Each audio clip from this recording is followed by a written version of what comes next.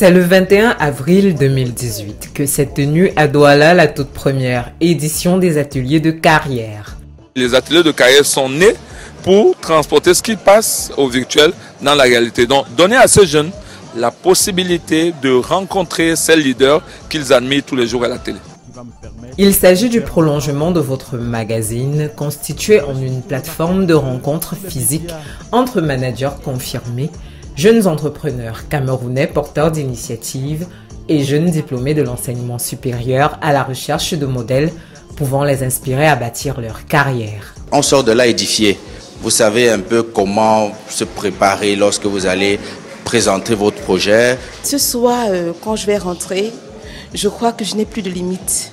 Je n'ai plus de raison de ne pas y arriver. Le thème m'a interpellé, à savoir, euh, je crois que c'était construire des jeunes, une classe de jeunes leaders de demain. Donc en cela, je me suis senti interpellé et la curiosité a fait le reste. Échange, partage d'expériences, communication, formation et apprentissage le but est de permettre aux plus expérimentés de transmettre à la jeunesse les recettes, les leçons, les valeurs et les conditions qui conduisent à leur réussite. C'est avec joie que nous avons accepté d'être là euh, pour être encore à la une, pour partager l'expérience, pour euh, créer plus de motivation.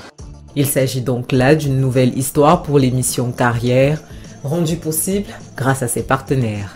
Orange Cameroun accompagne donc euh, carrière et bien sûr donc les ateliers de carrière aujourd'hui euh, dans le cadre de sa mission, mais également de sa volonté de pouvoir participer au développement des jeunes, à l'orientation des jeunes. LMR accompagne les ateliers de carrière parce que nous nous sommes rendus compte que nous partageons les mêmes valeurs. Donc, donner la possibilité aux jeunes de pouvoir se forger une carrière. Les ateliers de carrière sont un concept de In and Out Production qui depuis 2011 travaille à outiller les jeunes Camerounais de rudiments nécessaires pour leur réussite.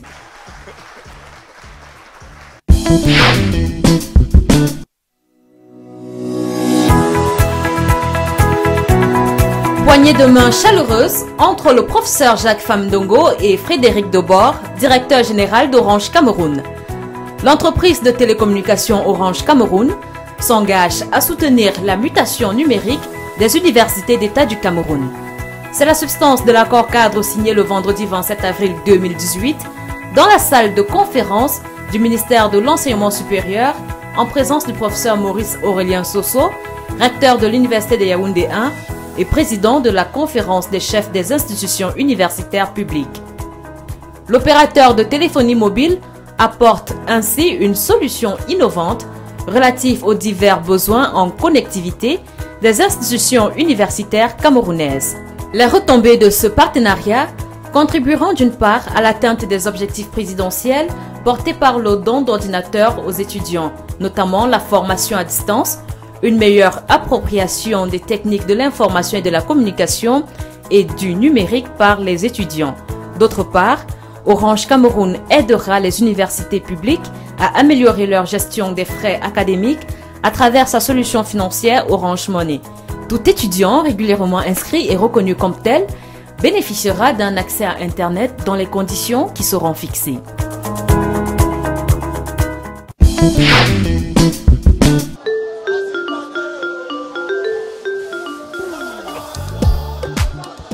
Les légendes du football, Thierry Henry et Patrick Mboma, ont effectivement pris part à l'apothéose de la campagne Guinness Match Made of Black ce jeudi 10 mai au stade Omnisport de Yaoundé. 44 joueurs, tout âgés d'au moins 21 ans et consommateurs de Guinness, ont été choisis à travers des tests de sélection au bootcamp. Une compétition remportée par Guinness Star, ici en rouge, 2 buts à 1 contre les Black Tigers.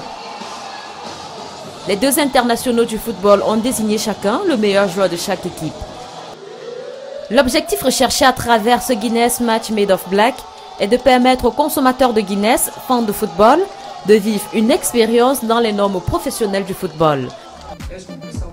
Avant ce match de gala, deux conférences de presse ont été organisées dans la salle des conférences du stade Omnisport. La première avec les représentants des deux équipes portait sur la sélection et la préparation des joueurs pour cette compétition.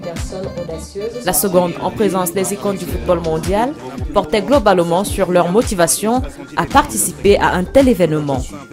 Pour Titi et Magic Boma, c'est leur façon à eux de contribuer à la réalisation d'un rêve pour ces amateurs de football.